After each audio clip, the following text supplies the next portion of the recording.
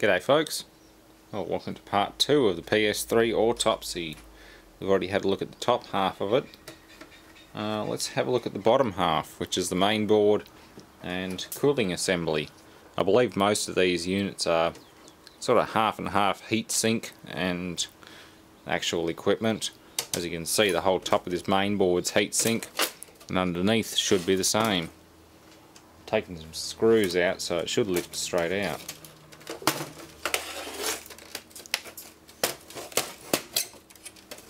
There we go. Big fan. It's a very big fan. And likewise a lot of very blocked cooling ducts and vents. Hmm. Yeah, this one's let's see doesn't exactly have a model code it's a date code 7A is the date code probably 2007 hmm. Either way this one's seen better days. That's nasty. But what we have very big Nidec uh, DC 12 volt fan. It's a very big fan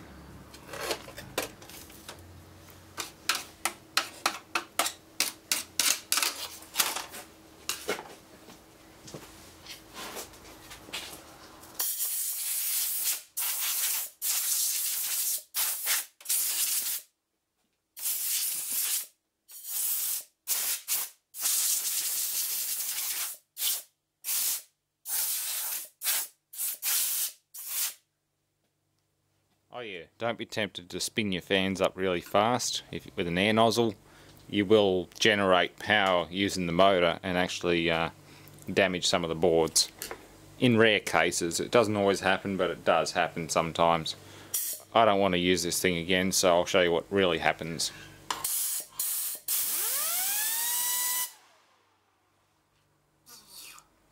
You can get it pretty fast, but that was actually generating power and probably putting it back to the main board.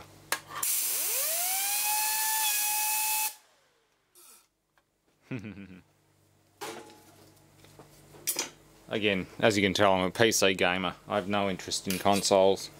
But this one was sent in for full autopsy and I will not disappoint.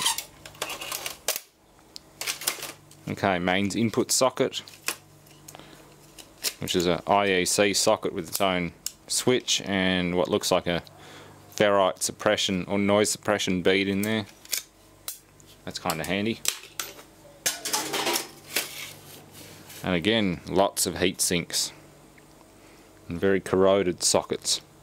Very, very corroded sockets. This one spent a few weeks out in the weather, according to the guy who donated it. And yeah, it's quite a mess. There's a lot of corrosion in this thing. But you can see the mainboard sandwiched between two layers of heatsink material. Let's get some screws out and go from there. Okay, well the main fan's pretty easy to remove. Through three screws and that's it. Not a bad little unit.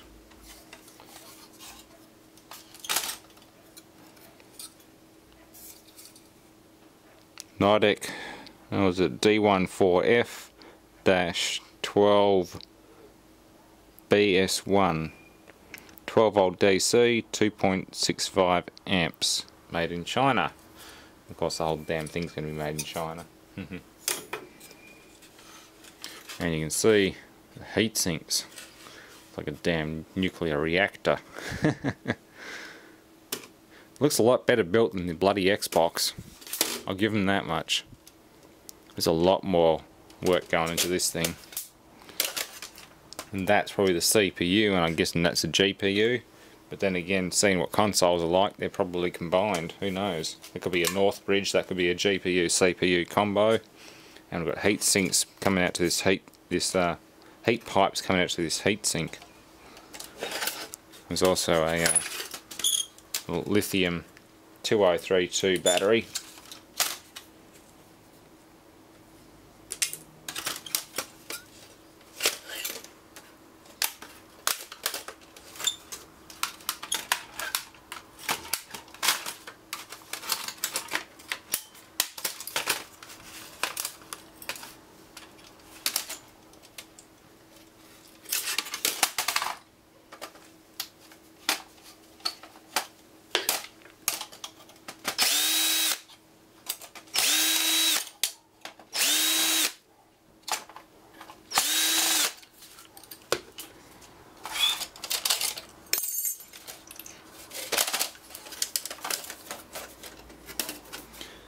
Okay, it's the lower heatsink removed.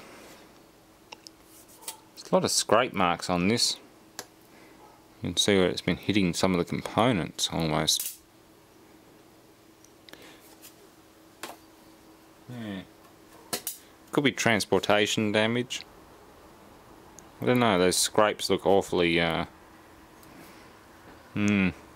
Something bad's happened in here. Who knows? Could be part of the tooling that was punching it out very shoddy old Chinese tooling.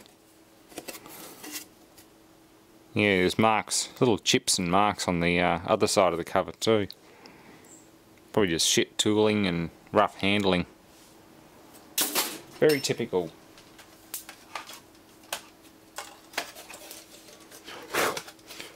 On that side, that's definitely the CPU there. That'll be a Northbridge slash GPU. And then again, what's that? Maybe South Bridge. Mm, who knows? Consoles are different to me compared with main boards, computers, regular stuff that everybody else uses.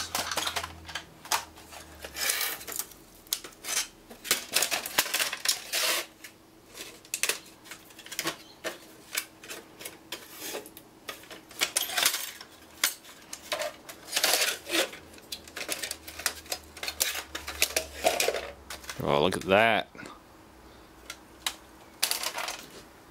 Heat pipe mayhem.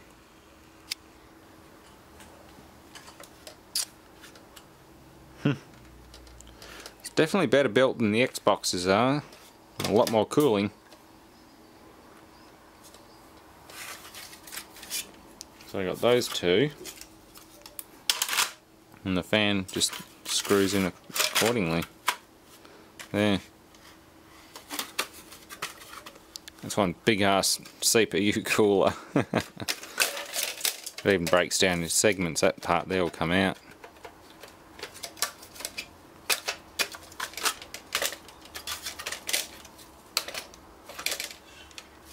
Hmm. Nice.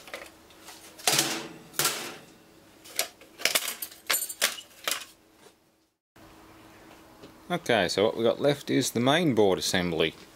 Um, taken two screws out of the uh, expansion slot caddy or hard drive caddy whatever you want to call it.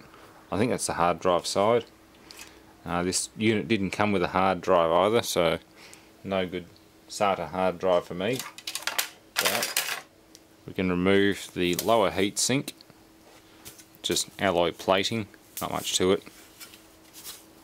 It's just crap metal and we have some components. Looks like these regs got fairly hot. I can see a lot of yellowing on the board and everything. It's kind of nasty.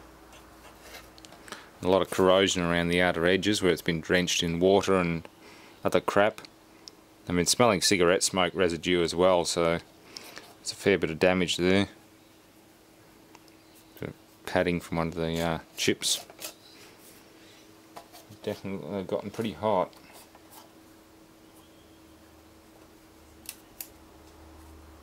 heatsink compound's all dried up, nasty. I'm guessing the uh, CPU overheated, probably in a very big way. Although, don't know what's CPU or GPU. Let's clean these up and find out what's what. And that one smells smells burnt. It's all blackened and nasty. It might be, uh, it's probably designed that way, but it smells cooked. Very cooked.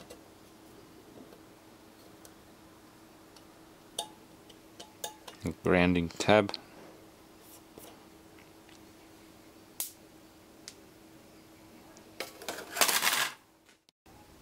Well, Sony certainly throw a lot more chips into this mix. We've got the reality synthesizer, the uh, cell broadband engine, guessing also known as a CPU, uh, is that one up there? Which is a CXD 297 at 9 GB. Interesting. That's a CDX 2964 GB and that's a CD, so CXD 2971 DGB. Interesting stuff. A lot more componentry than an Xbox 360. Various RAM chips. A lot of RAM chips. The camera's about to run out of battery, but we'll go to the bitter end. And that one there goes up to whatever that is, probably another Wi-Fi receiver or something, wireless control receiver. No, it's heatsink material. Attached to something serious. Either way it goes up towards the uh, communications port. But yeah, clean all the crap off with a bit of uh, methyl ethyl ketone. Kind of knocks this stuff around.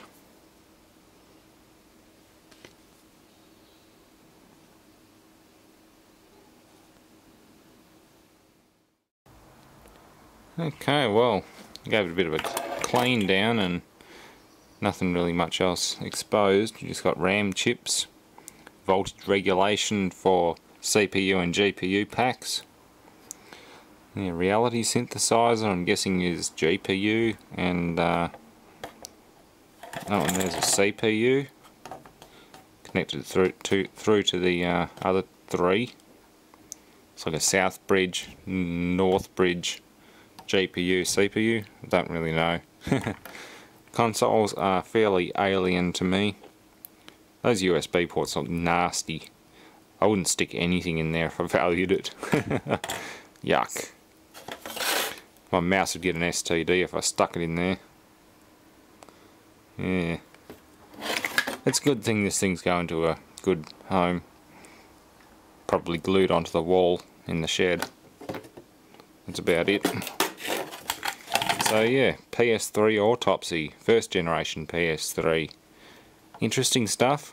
Looks better built than the uh, Xbox, but then they both fail. Xbox, Xbox does the red ring of death, this one does the yellow light of death. And that's exactly what this thing did. More than likely one of those big BGA chips has bad solder joints. Gotta love old lead-free solder compared with the uh, old-fashioned stuff which used to last a lifetime.